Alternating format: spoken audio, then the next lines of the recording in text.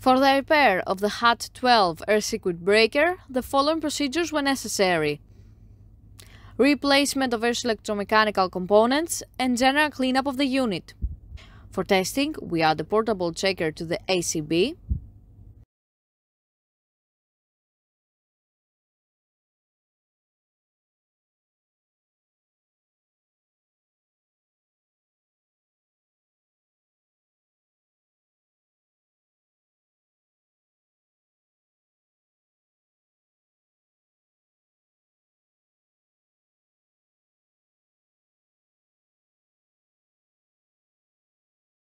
We perform a long time delay test.